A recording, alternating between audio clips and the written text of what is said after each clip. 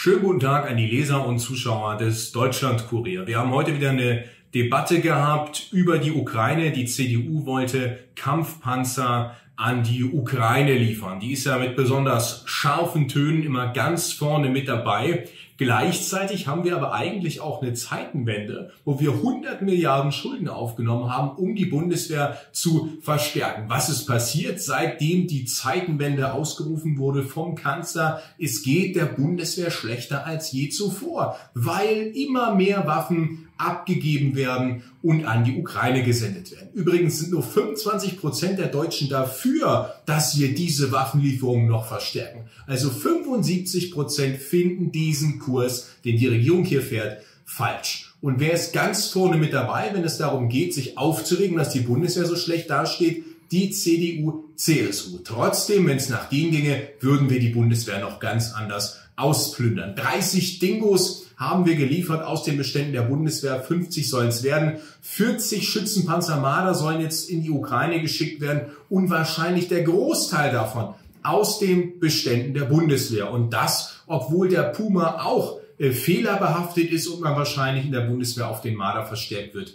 zurückgreifen müssen. Die Bundeswehr wird ausgeplündert, Panzerhaubitze 2000 bis weit über die Schmerzgrenze hinaus der Bundeswehr wurde schon geliefert. Deutschland wird immer weniger verteidigungsfähig, trotz dieser 100 Milliarden. Das ist der Kurs der Regierung. Wir sagen, und das ist meiner Meinung nach auch völlig richtig so, wir brauchen hier eine diplomatische Lösung. Anders geht es nicht. Wir können doch nicht nur versuchen, auf dem militärischen Weg diesen Konflikt zu lösen. Wer meint, die Ukraine erobert hier samt Krim alles zurück, der ist einfach ein Fantast. Das ist reine Ideologie und die kostet Menschenleben. Wir brauchen hier einen vernünftigen Kurs, wo es auch Chancen gibt, miteinander zu sprechen und dürfen diesen Konflikt hier nicht nur versuchen, irgendwie auf militärische Art zu lösen. Dafür setzen wir uns auch in Zukunft ein. Die Ukraine ist doch immer mehr abhängig von den Waffenlieferungen des Westens. Ja, die, also die Kriegsführung, damit die weitergeht,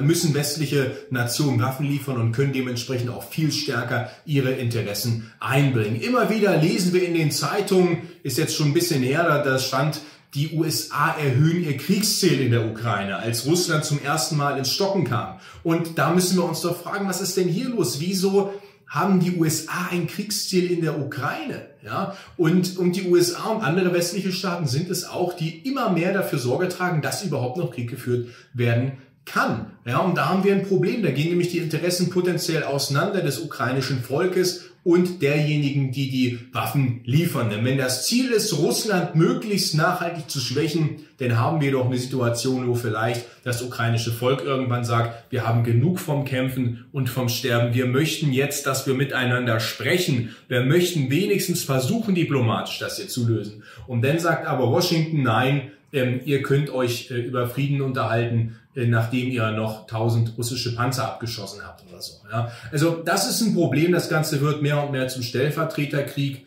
Ähm, selbstverständlich, der Angriff ist völkerrechtswidrig, keine Frage. Die Ukrainer haben jedes Recht, sich selbst zu verteidigen. Aber unsere ähm, Rolle bei der Sache. Darf doch nicht sein, das Ganze immer weiter anzuheizen. Mit immer schärferer Rhetorik. Wenn die Leopardpanzer, die die äh, CDU sich wünscht, auch nichts bringen, dann reden wir über äh, Kampfflugzeuge und danach dann über Bodentruppen oder was. Das ist irre, das ist eine Eskalationsspirale, da müssen wir raus. Diplomatie brauchen wir, Gespräche, das ist der Weg, den wir gehen.